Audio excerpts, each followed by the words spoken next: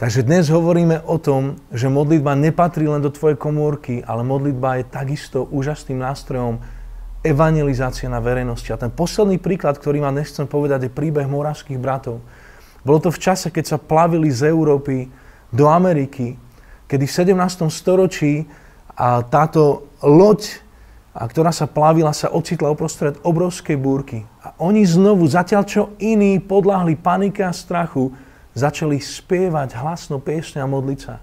A bol to práve John Wesley, ktorý sedel kúsok od nich, ktorý bol ohromený odvahou a smelosťou týchto moravských bratov, čo poznačilo jeho život navždy.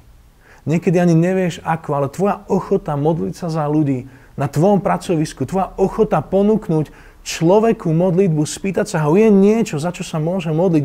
Krátko, nič náboženské, nič zložité, a zrazu uvidíš a budeš milo prekvapený, keď ti povedia áno, trápi ma to, že môj tatino je v nemocnici, trápi ma to, že moja dcera sa nedostala na vysokú školu, kde sa mala, trápi ma to, že neviem, ako zvládnuť a veci s hypotékou. A tým ponúkneš modlitbu a zrazu uvidíš, aký nádherný most vznikne medzi tebou a týmito ľuďmi, ktorí o tvoju modlitbu stoja.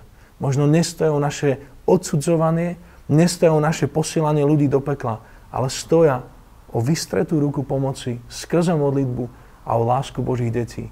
Ďakujem, že ste si pozreli aj toto video. Pozbudzujem vás, pozrite si aj tie ďalšie na tejto stránke premeny a modlitebnej evangelizácie. Majte krásny deň. Ahojte.